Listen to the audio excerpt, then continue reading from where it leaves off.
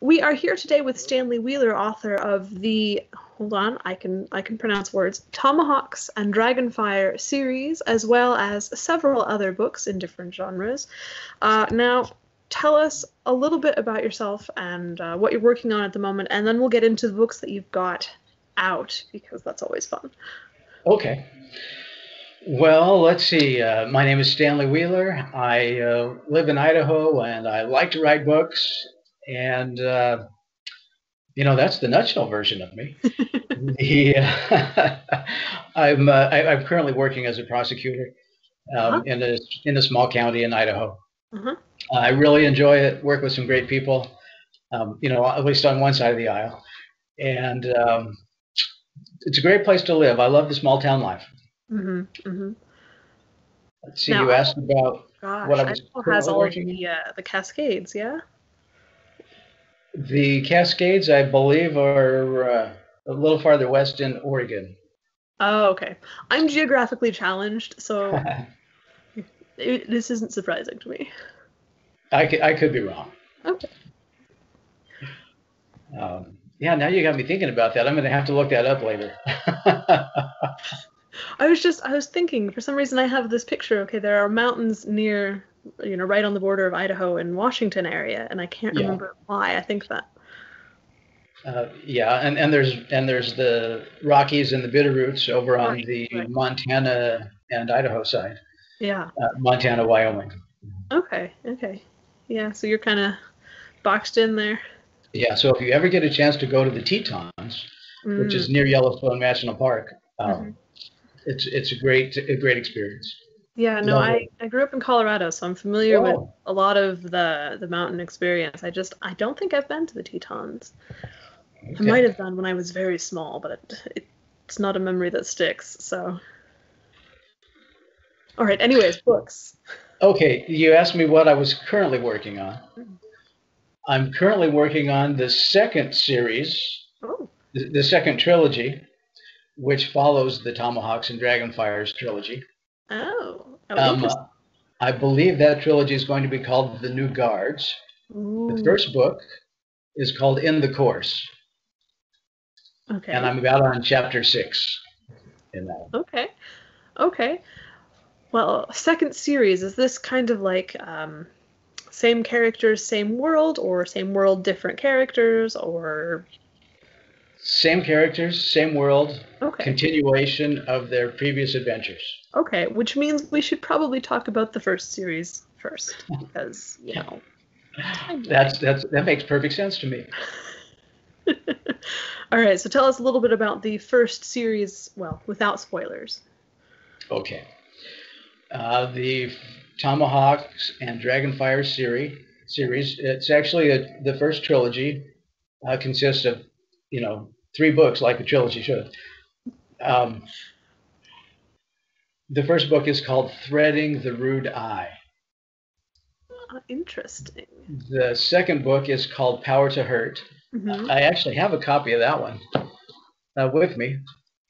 Uh, Power to Hurt with the uh, flames on the cover.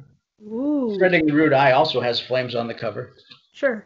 Sure. And the third book is called Clamorous Harbingers. Oh, I like that. And it has a beast on the cover that's uh, it's called a stone cat in the story, but it's pre- it's pretty cool looking.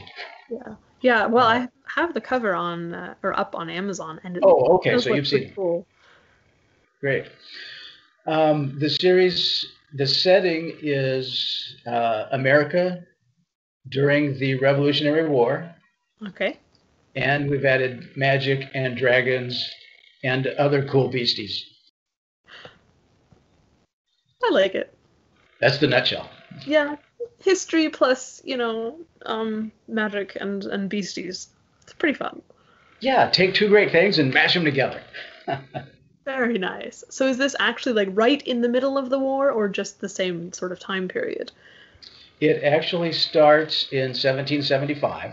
Okay. Okay. And in the, in the first book, they go through the main characters travel through revolutionary Boston. Mm-hmm. In fact, they get caught up in the Battle of Bunker Hill, and um, and and they don't follow along. They don't stay there. They go farther west, And so there are a lot of, uh, you know, I don't follow the Revolutionary Mm. War. And in fact, there are a number of things, you know, this is an alternate history, flintlock fantasy. So, you know, I can change some of the facts and events. Um, we have a lot of famous people that they may come in contact with, but Mhm. it's not the famous people that are the focus. It's the characters Right, uh, from right. the book, the fictional people. Okay. So what's their journey like? What are they trying to do? Well, as it as the book opens up, there is a uh, fight between ships. Uh, one ship is much smaller and really gets hammered, Mhm. and that takes place very quickly. Mhm. This is the opening, and uh, we find um, a, a young French girl named Lucette. Uh, I say young, I should say young woman uh, named Lucette, and she has been entrusted with a map to a cache of, we'll just call it a cache of magic. And and I played a little bit off Cartier's cache. Um, oh, when Jacques Cartier came to the New World, and he wasted a lot of time looking for some stones that he thought were very valuable, and took back to the Old World, and yeah, they weren't worth anything. but we've got some really valuable stuff in this case. So Lucette has this map. She entrusts it to somebody else to get to its uh, the person she's supposed to give it to. Mhm, mhm. And um, so there are adventures in doing that. And the first trilogy is all about trying to find the cache, Uh-huh. getting to the cache of stones, because it's a game changer for whoever Right. gets it. Okay, interesting. Interesting. Now, you write Flintlock Fantasy, which is still a fairly, if I'm understanding this correctly, new-ish subgenre. To the fantasy genre. Yeah, yeah. Or at least I've not heard of it all that much. Uh, there are a couple of uh, ones I've seen focusing on more on the Napoleonic Wars than the American Revolution, but otherwise I haven't seen all that much. So, where did this come from? Not the genre, but your ideas, because genre discussions might take a while. yeah, I don't know where the genre came from, but mm, the reason I jumped in was because it's two things that I really like. I, I really like history, and you mentioned the Napoleonic era. That was kind of the first thing that sucked me into history. Yeah. and and my series may eventually go there but uh, for now i was uh, you know celebrating the new world and um, its discovery and development and and i i know that somebody else i don't know who or when but i know it was many years ago had written some kind of book it might have been called american dragon i just cannot remember the name anymore uh, that used the revolutionary war and also dragons Interesting. I'll have I've to. never read it, but I like the idea. Yeah, sure. Well, I mean, history would be so very different with all of these elements thrown in. Right, and I and I like the uh, the flintlock era because while they have the benefit of firearms, it's a fairly marginal benefit. It, you know, one shot if you're by yourself, um, Yeah. and then you've got reloading time, and then just the whole atmosphere. You've got revolution, conquest, colonization through the you know roughly 200 period 200 year period in which the flintlock was in use. Uh, right. and Right. so uh, that makes for great stories. Oh, absolutely. Because he's, I mean, a lot of times fantasy is the whole. Um, well, you either get the urban fantasy with the modern, and you get uh, also the medieval fantasy. But the in between bits, I don't see as much, and I like that. It's fun. Yeah, it, it sometimes might be called swashbuckling fantasy. Uh, maybe that's a little more intriguing name. Yeah, yeah. I always thought that was a little different, though. I'm really bad at genre identification because there are so many very specific little things that go into making up each genre. True, and I don't claim to be an expert about any of them. I just like most of them. Oh, sure, absolutely. Absolutely. Okay, well, now I get to ask the fun question of so, how much did you break history? How much did I break history? Well, not a lot. Okay. Because in in my world the dragons of the new world they were there when you know the early settlers, the pilgrims, Mhm. uh, conquistadors, when when all those came. But they had something that called them back west, and so they had to withdraw from Ah, the area for many years, Interesting. uh, over a century. Interesting. and so that allowed me to then have things develop very nearly as they as they did historically. Mm-hmm. Mm-hmm. Now, is it just dragons and uh, other relative fantasy beasties, or are you um, are people able to use magic and that sort of a thing? There there's magic. There's magic that originates from these stones, Uh-huh. and there's already some of these stones out. hmm Um, one of the major bad guys, um, I'll just call him at this point the commander, because that's how he's known through most of the story, and eventually I'll learn more about him and his background and his name.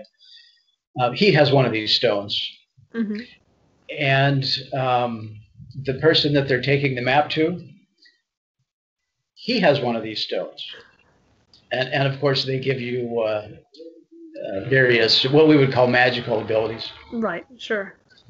and then there are other stones that can be used in conjunction with the main stone. Mhm. To uh, they're called filter stones that allow the user to do completely different things uh, with, with with the stones with the magical abilities. Fun. Now I've forgotten what your original question was. That was pretty much the question. okay. Now, now there, there, that's the main, the main magic in the series. hmm But there's also some other minor magic going on that some of the other characters possess. Okay. Ooh, fun. Fun. All right, now let's get into the characters. We've met Lizette. Uh, I presume she's not the only main character since you No. getting multiples. No, she's she's just the sweetest. um, like I said, Lucette is is uh, a, a young French woman, and the uh, the the main the other main character is Alex, hmm and he he will go through what we, what we typically think of as the heroic journey. hmm When we first meet him, he's got plans, he's got a life planned, and that all gets destroyed. All of his plans get destroyed. He gets sucked into the revolution. He's not a fan of the revolution. Ah. He does not want to be involved. Ah. And uh, but nevertheless, he is brought in, and he eventually accepts the invitation uh, to join and to receive this uh, interesting power Mhm. that uh, that the stones give. hmm Interesting. I always feel bad for heroes who have plans beforehand. It's like, yeah, things are going well. I'm going to do this. I'm going to do that. And then, Exactly, but that helps forge the character. that's true. It does. It does. But I, I feel a little bad for them as a reader. As a writer, I think it's great. Always fun. Well, and I think that's the point, isn't it? To make you relate and sympathize with the character. Yeah. Yeah, but I mean, that is kind of the point of reading books. I mean, learning things is also a good good bit for reading, but uh, in terms of fiction, yeah. Um, okay, so I feel like I want to ask about this next series, but I also probably shouldn't because spoilers would be bad. It's coming though. It's going to be a continuation of the characters and their their um, ongoing adventures, etc. it is, and in fact, it uh, the next book in the course begins in 1776. Oh, okay. That seems reasonable. Well, okay, all of my questions now involve spoilers, so I shan't I shan't continue that line instead. Um, and go you have uh, several other books out there if I'm not mistaken. Uh, in various different genres. It looks like uh, noir fiction, westerns, that sort of a thing. Unless I'm That's- completely mistaken in my reading. yes, that's me. Okay, very fun, very fun. So tell us a little bit about that, just because we can. Okay. Well, uh, um, I think a lot of readers like to read in multiple genres. I know that I do. Yeah. Yeah. And um, and and I like to write what I would like to read. Mm-hmm. so the the very first book I wrote, or, or I should say that I finished and moved to publication, was Justice in Season, hmm which is a western that takes place in uh, the Idaho Territory of about 1863, 1864. Okay, sure. And um, I'd read a newspaper article in the history part that told this interesting story, and I thought, wow, that is such a good story that that should be made into a whole book. And so I fictionalized a lot of it, fictionalized the characters, and Mhm. then used some of those events in in my western book that I wrote. I later wrote a sequel to that, Justice Resurgent. hmm Um, uh, same characters and and the same time period immediately after the events in the first book, Sure. but they're both separate, standalone. Okay. Although the second one is better if you've read the first one. Yeah. Sometimes that is useful. One of my you you one of my very favorites is called Smoke. Uh huh. This is my uh, detective noir story. Noir And, is uh, such fun. it's it's a lighthearted noir, noir light. Still, uh, does it have that narrative style that's you know distinctive to the noir fiction? yeah, so you've got a little bit of Dashiell Hammett or uh, Raymond Chandler vibe to it. Yep. It's told in the first person. And uh, you go through. Now I do break some conventions there. Oh. It's told in the first person, but uh, there are some chapters told from a a third person. Uh huh. And there is at least one time when he uh, really tells about things that he didn't know about at the time. Uh huh. And so I asked my readers about that, and they said no, they loved it. They thought that really enhanced the story. So I, I, I broke the rule, and I knew it because I thought it made a better story. Well, I mean, to be fair, conventions are in place so that people can go and break them when necessary. Exactly. It's kind of the fun part. I mean, what would life be without breaking a few of the rules of writing? yes, my wife wants me to write a sequel to Smoke, and I think I will. But uh, it's again, it's a standalone, it's a complete Sure. story. But uh, Sure. Sure. but I really do like the characters; they were fun. Yeah? Um, All right, you better tell us a little bit more about them then. Well, I think writing in the first person uh, makes it a little more, uh, I don't know, uh, intimate, personalized, hmm and so the main character is a he's a veteran of World War II.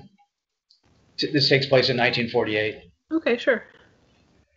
and he didn't plan on being a detective, but events or a certain client sucked him into being a detective.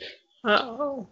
and uh, and it's it's all about him trying to solve a murder hmm and uh, the people he meets along the way and how it, how he eventually uh, solves that. But it for me it was a a love affair with the 1940s. It was so great to research that and to learn about different aspects, the cars, the music, the Cars. The cars. was, so I loved it. It was a great time. Oh, absolutely. Every time I watch one of those movies, um, and I see the the the whole scenery, you know, the people and the cars and the technology, it's just like, wow, that's really cool. Yes, history is a foreign country, Oh yeah. and and it's it's awesome. It's, yeah, yeah, I'm very fond of it. And doing all the research can be very annoying if you don't have the right access to sources and whatnot, but I find it fascinating. yeah. Yeah. especially with Google now. I mean, now with the internet, 40 years ago, I wouldn't have been able to write the book. Well, you would have, just it would take a lot more afternoons in the library, sort of a thing. Exactly. Yeah. You know, the resources available to me, not great. hmm Yeah. Although I do know there's a certain amount of nostalgia for the pre-internet writing era, simply because of the whole. Um, if you're self-publishing your book, you also have to self-market and whatnot. Right. Yeah, I, I do. I've talked to a lot of people who say, yes, well, wouldn't it have been nice if publishers were still the way they were when they picked you up and they did all of the publicity and the marketing and the cover and everything, and you just wrote the book? That would be lovely. So, what's your marketing journey going to look like? What does my marketing journey look like? Mm. Uh, probably a train wreck. I've uh, I've done little to no marketing. Um, it's like I write the books and then fling them out off the off the uh, into the chasm, and uh, hope somebody grabs it on the way down and reads it. I mean, that's definitely a strategy. Although recently, and that's why I'm on your your broadcast here, is is I was connected with Mike Evans, Mm-hmm. Michael Evans, and uh, and so he's currently my publicist, and that works into my into at least some marketing plan. At least Nice. people get to know I exist and that I write books. Yeah. And well, you start small and then you can grow from there. That sort of a thing. Yeah. Yeah. My And- philosophy is if I write enough books, somebody's going to stumble across one, Precisely. and they hopefully will love it. Precisely. Very fun. Yeah, I've at least from the indies I've spoken with, the general strategy seems to be the more books you write, the easier it is to do marketing. Simply because of you know you have a lot of uh, possible ways for people to reach you or, or see you. So who knows? Well, I'm certainly open to recommendations if you have any good strategies. Um, I've just figured out how to do Facebook adverts, so I couldn't actually tell you if there's um, strategy there. Just that I finally figured out how to actually get them to show my ads. Okay. So I've heard mixed reviews on those. I've never tried them myself. it took me far longer than I would have liked to figure them out, Yeah. but such is the nature of things. And of course, in six months, I'm sure they'll change the algorithm and I'll have to refigure things out again. Right. That is one of the problems. Oh darn. Anyways, moving sideways because we can, uh, for gosh, all of your different genres, which are super fun, uh, is there an author in one of those genres whose abilities you'd like to steal to improve your stuff? oh, that's a really good question. You know, um, I have not written in the military sci-fi genre, hmm but I did just read a book um, called Legionnaire Oh, I've heard of that one. I haven't read. by um, Anspach and Cole. Nick Cole is the second author's name. Anyway, um, that book just sucked me in, held me tight all the way through. Yeah, Um, you know, I didn't want to put it aside. I wanted to read it every chance I got. yeah. Um, it, it was, in fact,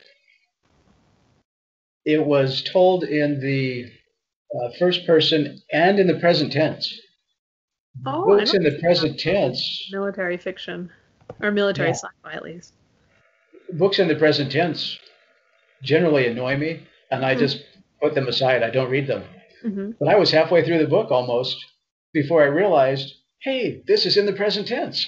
Yeah. and yet I was still loving it. So if I could capture that kind of uh, ability to bring people in, immerse them completely in the story, so that they don't even notice the things that usually annoy them, hmm hmm um, I would love to capture that. Um, as far as authors in the genres in which I've written, I really liked Edgar Rice Burroughs. Mhm. I, I read everything I can find that, that he has written. Of course, everybody loves Tolkien, and I don't even pretend to try and go there. He is kind of in a class all by himself. Right. I uh, I have to admit, I, I'm trying to think of some great fantasy that I've read recently, and uh, well, I, I did read some of uh, Brian McClellan's Uh huh. Flintlock Fantasy. Uh huh. Um, very good. I enjoyed that. I couldn't, I can't put my finger on on something that that I think that he does so exceptionally well that I want to steal it, uh, or you know, grab that ability. Sure, sure. Um, maybe maybe marketing. well, yeah. I would, yeah. There are many authors whose marketing abilities I'd love to steal. Yeah, Eric Flint, I, I, I enjoy his writing. Mhm. Um, the 1631, 1632, um, th- those books. But again, I, I can't put my finger on what it is about it that makes me like it.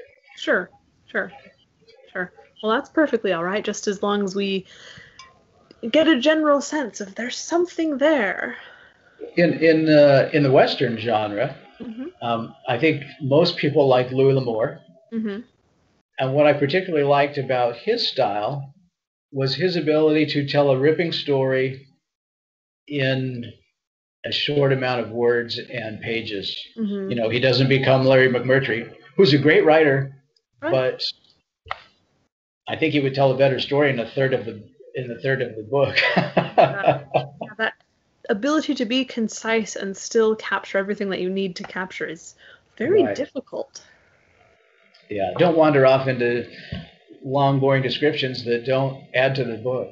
Right. Although I think some people want all the ambiance they can get, all of the every little feel and texture. So that that appeals to a lot of people, and so I don't have anything against authors who do that. Sure.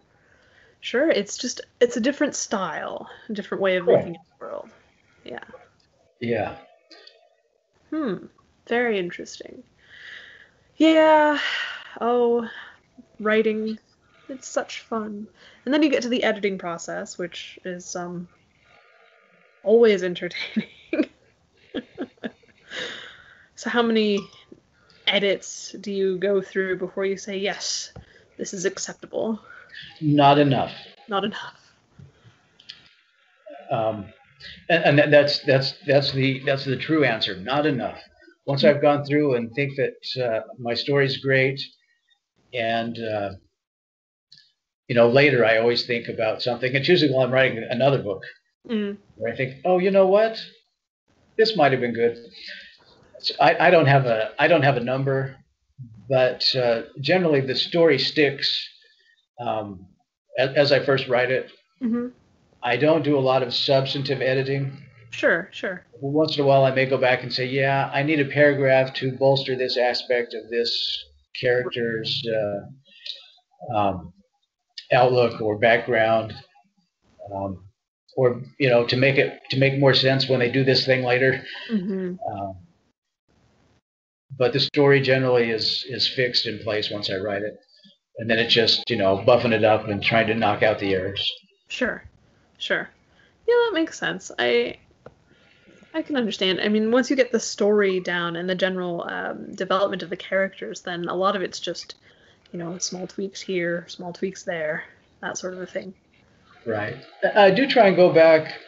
I, I understand that the council is probably against this. Mm. At least I've read it somewhere about don't go back and read what you wrote and then write. Just just write new stuff. Keep keep adding to your story. Get your whole story down without going back and rereading. Uh, But I I can't do that. I like to go back, read what I wrote last time, right. and and and correct it as I go, and then write my new stuff for my writing session that day.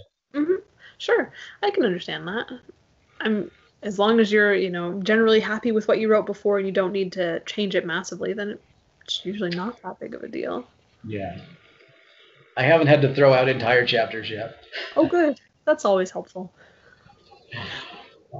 Yeah, throwing out entire chapters, as long as, I mean, you don't throw out the entire book, because that would be very sad. Sad but true. All right, for writery types uh, and readery types, if you want to, who are trying to get into um, your sort of area of expertise, and I'm going to go with the history bit as well as uh, generally causing trouble in multiple genres. Um, are there traps that you think people might avoid?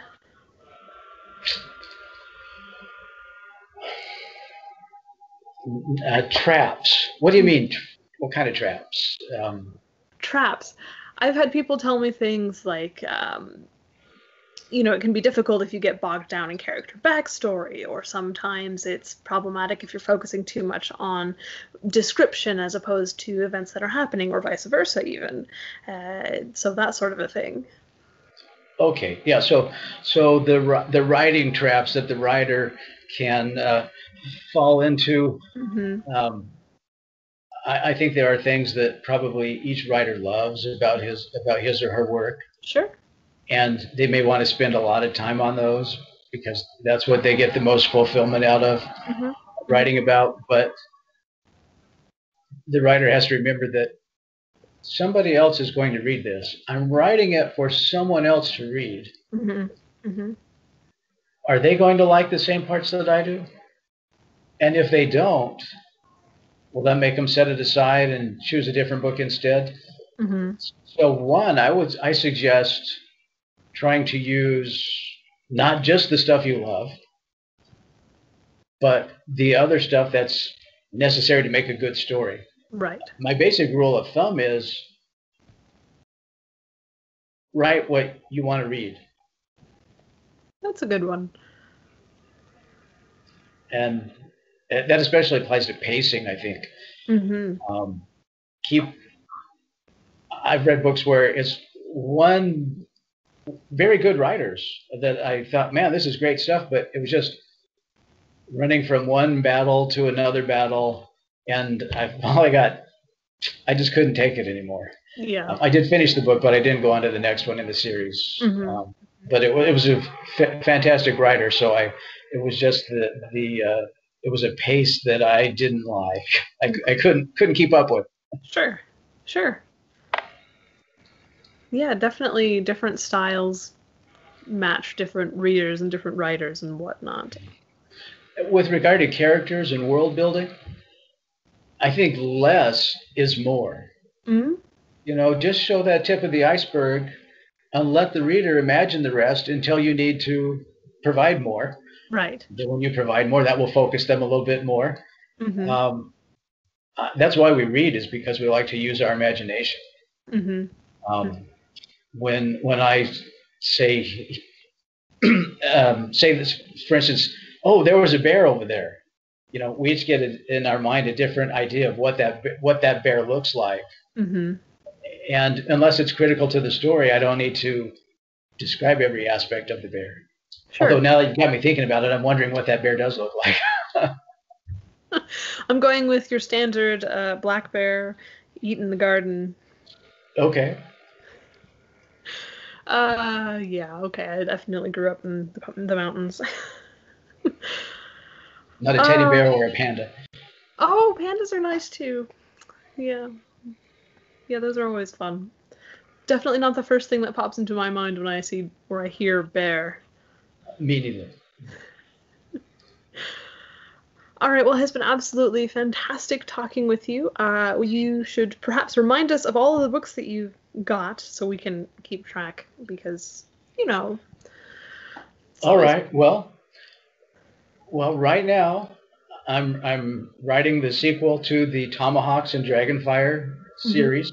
Mm-hmm. Mm-hmm. Those books are Threading the Rude Eye, Power to Hurt, and there's a lot of hurting that goes on in that book. Oh no and Clamorous Harbingers, uh-huh. which is a great climax to the to that uh, trilogy. Oh boy. Uh, my, my Western books, Justice in Season and Justice Resurgent. Mm-hmm. My noir detective novel, which is a little bit humorous, a little bit silly at times, uh, called Smoke. And uh, it, it is my favorite, I have to admit. Mm-hmm. I've also done another one called Finding Jack, which okay. um, is a is a, also a fantasy. It's an alternate fantasy world. Ah. Uh, a, a, boy gets sucked into another world, ah. um, which is a fantasy version of the town he lives in. Ooh, that would be fascinating. I feel like my town would be far more exciting if there were fantasy elements involved. right. So that's uh, I think that's all of them. Seven books so far. Working on number eight. Okay. Well, very exciting. And we Thank shall. you so much for having me. Yeah, yeah, it was great fun. And I will be absolutely sure to include all of the links for your stuff in the description because sometimes Google algorithms are problematic and it's helpful to actually have clickable links. Great, thank you. Yep. Well, have a fantastic day. Uh, do cause, you know, some trouble because it's Thursday and because you can. I aim to misbehave. All right. Well, thank you so much. Thank you.